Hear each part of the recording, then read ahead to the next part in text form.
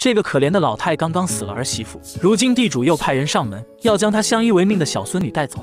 我不走，我要照顾奶奶。那就拿珠子来。哎呀，我求求你们了，你们就看着看着我们家天灾人祸的份儿上，饶了我们吧。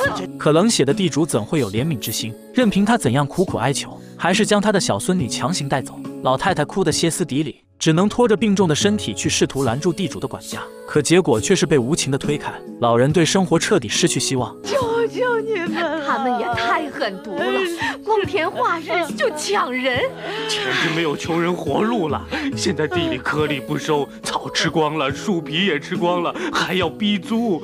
老天爷呀，你怎么就不开开眼呢？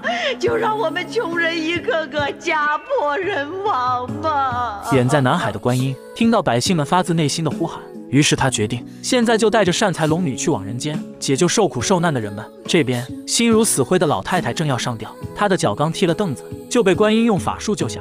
老人醒来看到自己并没有死，便开始抱怨他们不该救自己，称这人世艰苦得很，不如死了更好。龙女和善才将老人扶到凳子上坐下。观音告诉他：“天无绝人之路，与其自寻短见，不如将困难说出来，或许我可以为你想想办法。”老人叹息着说出了其中的缘由。原来事情是这样的：本地有个大财主，名叫宋仁杰，他财大气粗，为人奸诈，为了谋取暴利，将镇上的所有粮食全部收购，再以高价卖出，而县官也被他收买，纵容他垄断了方圆百里所有的粮食。百姓们买不起粮吃，便拿田地换粮。他又高价将这些田地租给乡亲们耕种，不仅要交份粮，还要交地租。交不起的人家，便会被他们拉走家里的女人和小孩卖为奴隶。老人家边说边哭，抱怨这世道艰难，逼得穷人没有活路。观音明白了事情的缘由，并向他承诺自己一定会将小姑娘安全带回，让他在家安心等待。随后，还将送财主饭桌上的白魔施法变走，让徒儿交到了他手上。家中已断粮多日的老人家，看到珍贵的白面馒头，激动不已。他看了看眼前的几位救命恩人，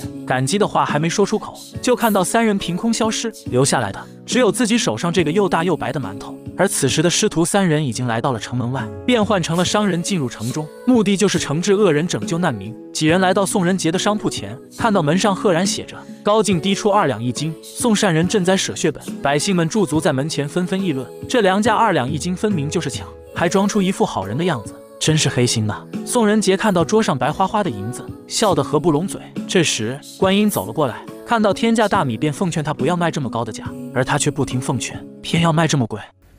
不让卖，我非卖。卖定了。嗯，卖定了。